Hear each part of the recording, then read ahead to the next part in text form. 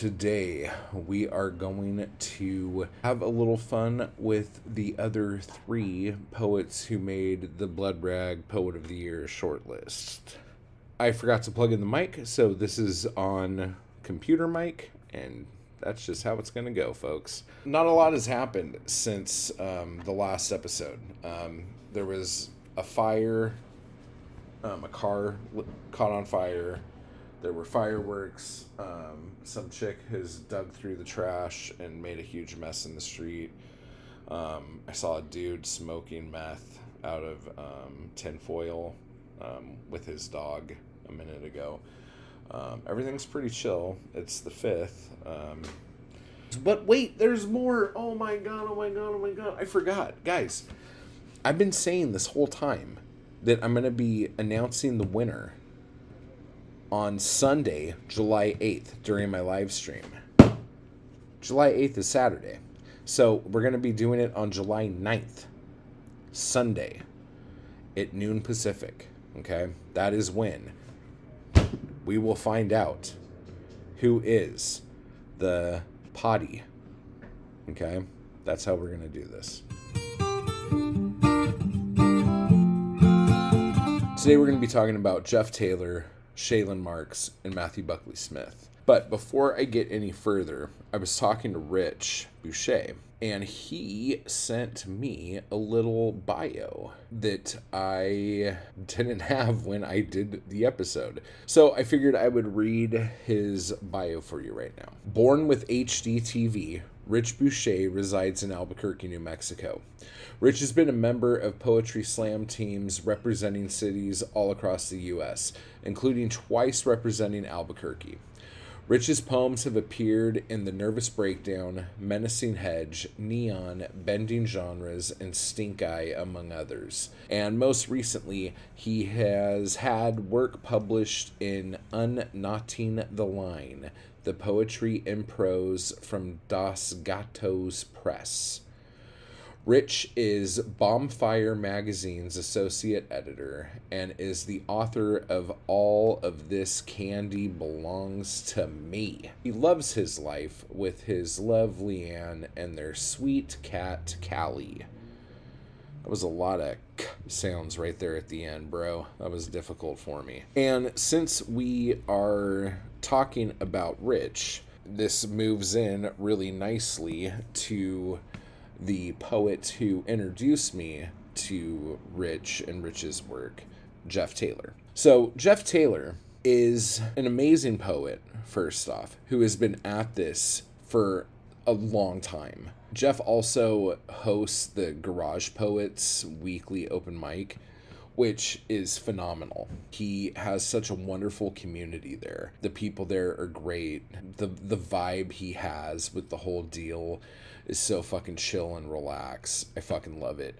Um, I wish scheduling made it to where I could participate in that more, or at least just hang out while they're doing it, even if I'm not doing anything in it, because it is a lot of fun. But Jeff is someone who I heard read their stuff a lot before I ever read anything of his. I say this in the Bloodshed review. He's um, in um, as a supporting poet in the first issue of Bloodshed Review, and then he's going to have the center section chapbook in the August edition. When Jeff reads, I don't know what the fuck it is, dude. It it's I, I can't describe it. I can't put my finger on it.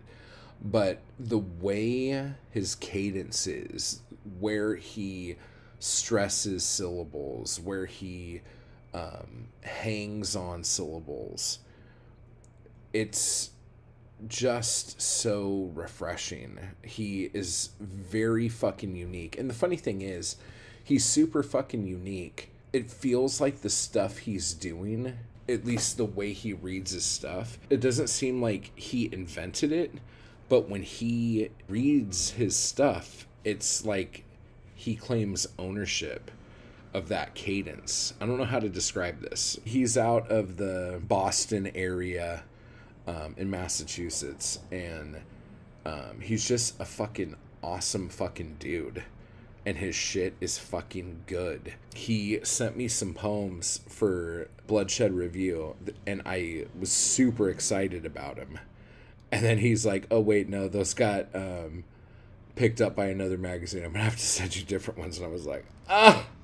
But then the ones he sent me were still really fucking good too, so it didn't really matter. But but it's just he's he's really good. The other thing about his work that is probably different from a lot of the poets that I like, which is weird that he made it in the Blood Rag at all, is that his poems are usually relatively long. Um, they take you on a journey kind of thing. The journeys he takes you on are awesome. So it's it's definitely worth it. But the cool thing about him being in the Blood Rag was that he ended up finding a poem or composing a poem that would fit within the guidelines of the Blood Rag. And I just want you guys to understand something here. Jeff is the only poet who made the short list who would had only been in the blood rag one time. He only has one poem in it called Replace. I chain smoke to replace you. Every thought about pressing my lips to yours. Another cigarette. When I finally drank the butts in the end of my can, I quit quitting you. And that just goes to show you how strong he is that his peers voted for him and that he got readers voting for him just coming in one time. So for anyone who thinks that like, oh well the only way you'll make the short list is if you get like five or six poems in there. There are poets in the Blood Rag who had been in like four or five times that didn't get shortlisted. Numerous poets who that happened to. So it doesn't matter how many poems you have in it, it just matters how hard your poems hit. And Jeff's a fucking perfect example of that. So, Jeff, brother, man, good luck to you and congratulations on making the short list. Now we got Shaylynn Marks. Now, Shaylynn Marks, a lot of you who listen to the show are going to know because we just did an episode with her on the podcast where she talks about her fornicating the elements center section for the bloodshed review shaylynn is a creative writing major at full sail university she's out of maryland and she comes from that same like kind of world as i do um, and as adam crawford does. And now that i've talked to rich more pretty much the same world rich boucher came out of where this like street level marketing, guerrilla marketing, street team shit. Who was I talking to? I was talking to someone the other day and they called me a street poet. And so I, I might I might hang on to that and use that. I was like, oh, that's that's an interesting thing to say. Because I, I I'm not from the academy. I'm a street poet. So cool. But Shaylynn fits that mold, you know. Shaylynn shit is fucking raw as fuck. And we're gonna be putting out a book of Shaylynn's coming up in the near future that is so fucking raw and brutal. It's seriously going to knock your guys' socks off. Like, seriously. In fact, when she first sent poems in, she sent she didn't send them into the blood rag she sent them in to be in the next poetic anarchy volume 4 anthology that's going to come out later this year. I was just like, I think it was Cologne. I'm like, I'm putting this in the blood rag. Like, so just hold your horses. This is going in the blood rag. And she's like, oh, okay, that's cool. Cologne. Your shoulder brushes against mine on the crowded street. The breeze of tobacco and bay leaves penetrates my nostrils, inseminates my mind. My hunger does the talking. On the prowl, I track your scent until we collide again. And then um, she sent squirming in. Squirming. Help me. Take the edge off. This eternal confinement to the prison of my mind. My internal monologue, waterboarded stone by stone. The weight of my insecurities crush against my sanity. I'd rather be unconscious, a purposeless nomad, than in this constant state of mental torture. Then when she the funny thing is when she set in the last poem, the lift you up. Lift you up, put me down. Swearing I'm made of muscle, blaming it on the protein fix, on my knees, drinking your life till you're spent, carrying you on my shoulders, my soul's tendons, they're tearing. When I'm too weak, will you pull me back up? Like I didn't realize that she had sent that in for the July issue. Like that was what she sent it for. I just like I'm like, oh my god, there's there's space. I could fit this in here, and I put it in um, the twelfth issue. I think that was the poem that kind of pushed her over the top with like the peer group and the readers. Like that was the poem that was mentioned. So I don't know. So Shaylynn, you're amazing, and I can't wait to do all the stuff that we've talked about doing. So um, congratulations on making the short list and good luck. Um, I was going to tell this story about when I told her she made the short list, but I'm not going to tell the story. If she ever wants to tell that story, she can tell it, but I'll I'll leave that one to her. So again, congratulations and good luck to you. Um, and then finally, we have Bucks himself, Matthew Buckley Smith, who I don't know if he likes slumming with us here, but I'm fucking happy as fuck to have him. It, it's funny when I told him that he made the short list. I I don't know why. I thought he was gonna be like, oh, oh, great.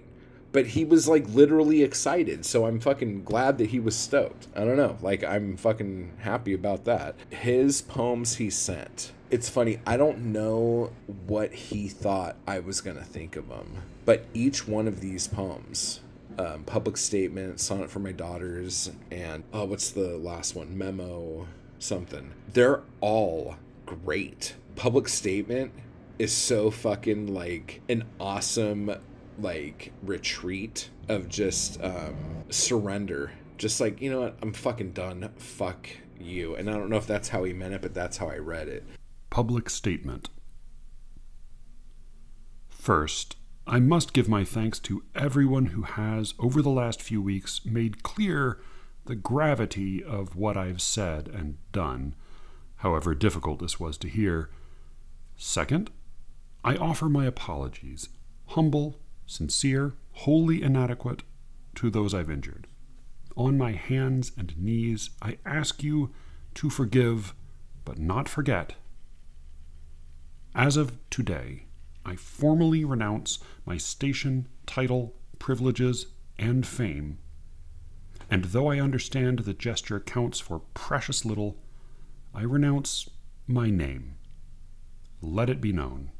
The man I've always been is finished. You won't hear from him again. Sonnet for my daughters, I can fucking relate to that like a motherfucker, dude.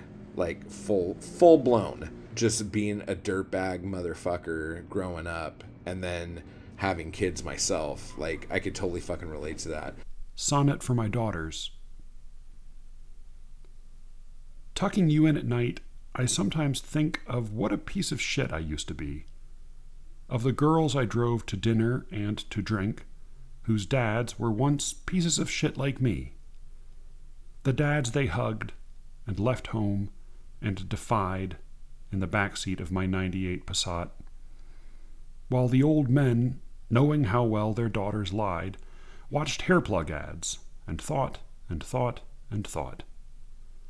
And later, when everybody was asleep, those girls I thought were mine would sneak back in, sometimes to call their friends, sometimes to weep, sometimes to never think of me again,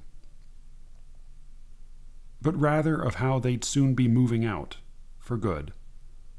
Those girls I sometimes think about. And then the memo um, that's like kind of like a fuck you to snooty motherfuckers.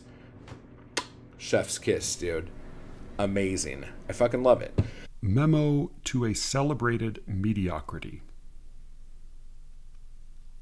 I write you out of duty, not disdain. Just some guy with no name to jeopardize by clumsily attempting to explain the reason all your friends won't meet your eyes. The thing they'll never say, at least aloud, for fear of losing followers or face, is this The honors of which you're so proud attend you not because of, but in place of any genuine artistic worth or any reader's honest admiration. The problem is not your effort or your birth, it's just the whole unsavory situation, which is why you feel so certain that I'm wrong and will until the next you comes along. Because he writes perfect sonnets and stuff like that.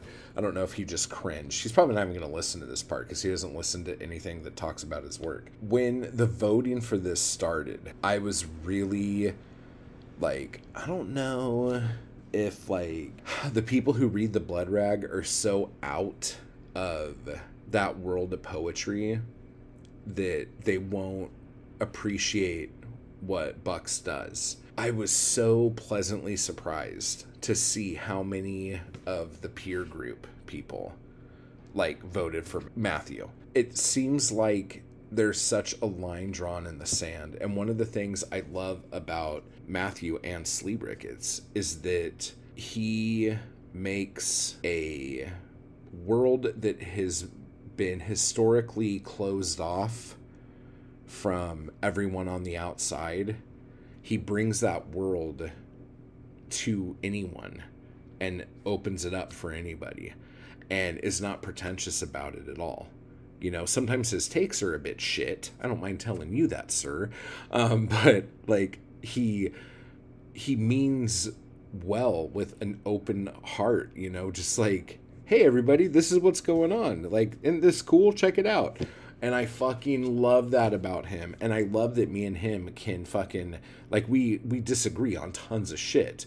But he's such a fucking good dude that me and him could fucking chat up and do all this other fucking shit and have it be cool and we fucking talk all the time so it's awesome but the thing that i'm just so fucking happy about is that if you ever listen to slee ricketts matthew buckley smith will he, he's doing a little bit better now but it's almost like you have to hold a fucking knife to his throat to get him to fucking promote the shit that he does especially with his writing so um the fact that this is happening, at least over here in my world on my show, I'll fucking promote for him, dude.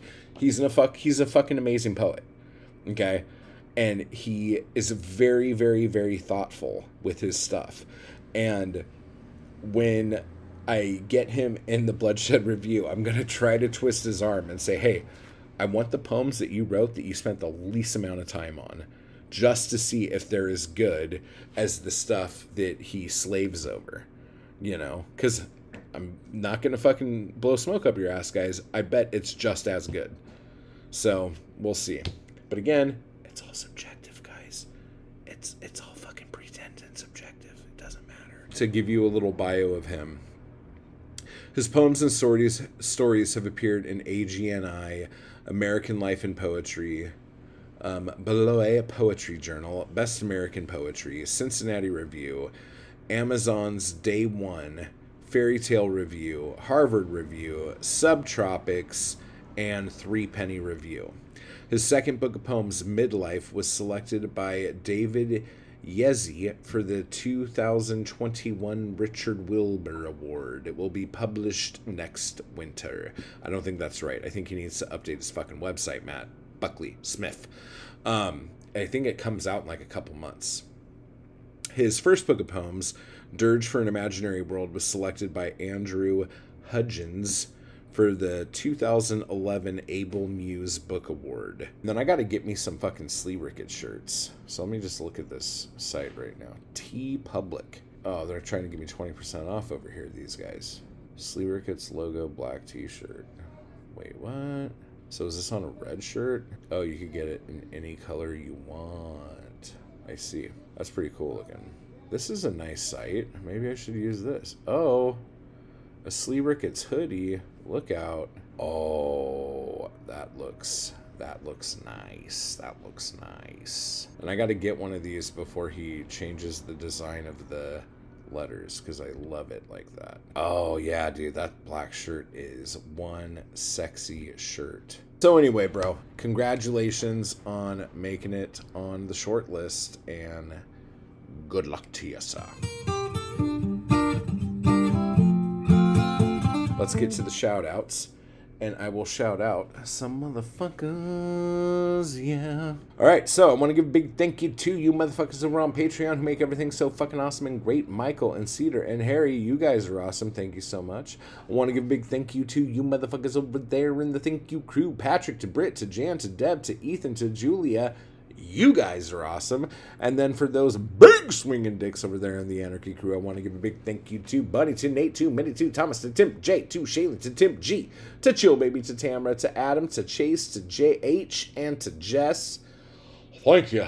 Thank you very much. And then the biggest of all the biggest motherfucking thank yous in the world goes to Caitlin over there, number one chappie in the Chapbook of the Month Club. You all can join the Chapbook of the Month Club or the Anarchy Crew or the Thank You Crew just by clicking the join button underneath this video on the YouTubes. Pick your tier, pick your poison, pick the things that you want the most of, and you shall have them. Caitlin, thank you again so much. And to the Anarchy Crew, to the Thank You Crew, and to the motherfuckers over there on the Patreon. So, with all this said, guys, type hard, and I will see you guys on Sunday, July 9th at noon Pacific to find out the winner of the Blood Rag Poet of the Year. I just want to give a quick thanks to those people who make these videos possible. Anarchy Crew and my followers on Patreon. I appreciate the hell out of you guys. And thank you so much for keeping me going to keep this content possible. You guys are awesome. And if you'd like to join the crew or the Anarchy Crew, just hit the join button beneath this video. And if you'd like to become a member of my Patreon, you can run over to the link down below to do that as well. Thank you.